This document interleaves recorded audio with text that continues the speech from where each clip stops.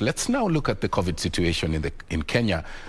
On Tuesday, uh, Kenya recorded 185 new cases of COVID 19 disease from a sample size of 5,515 tested over the last 24 hours. The coronavirus positivity rate stands at 3.4%, while the total number of infections since March 2020 stands at 320,584. Four patients have succumbed to the disease, all of them being late deaths reported after conducting facility record audits in January. The cumulative fatalities stand at 5,562.